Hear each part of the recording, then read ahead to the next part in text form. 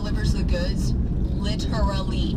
Go to 95 Rock's Facebook and vote for Teacher of the Month for March because when they win, we're gonna come through, interrupt class, be like, yo, you are our Teacher of the Month, and literally hook them up with so many prizes, they won't be able to carry them all.